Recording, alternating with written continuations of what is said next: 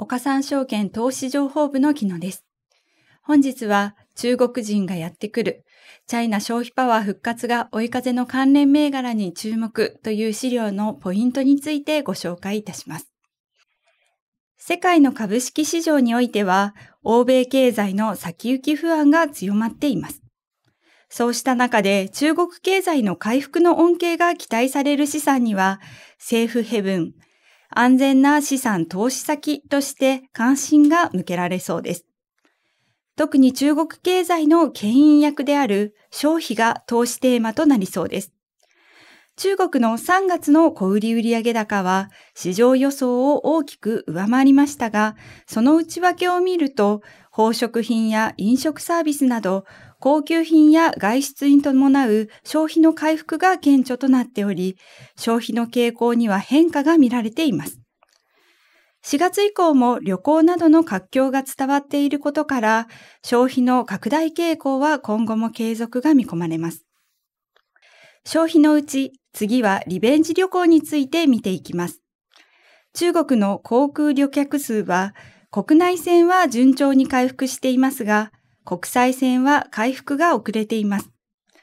中国政府による渡航制限の解除などを受けて、ここからさらに回復が予想されます。海外旅行先として日本は今でも高い人気を誇っていますが、訪日外客数はまだ2019年の水準に遠く及ばない状況です。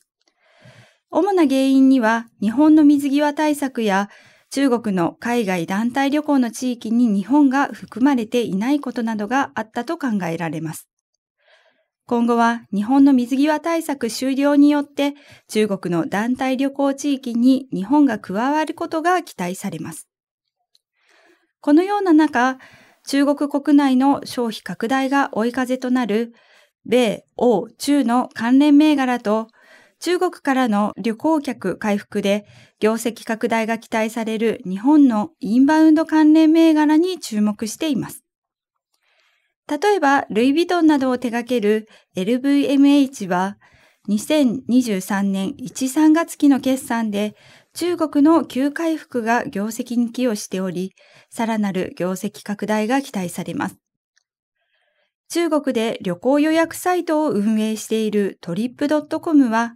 今年の労働節連休中の旅行予約が2019年の水準を上回ったとしており、今後も旅行市場の正常化が追い風となりそうです。また、九州を中心に輸送サービスやホテルなどを展開している JR 九州については、温泉地など観光資源も豊富であることから、観光客増加による恩恵が見込めそうです。以上で資料のご案内を終わります。ありがとうございました。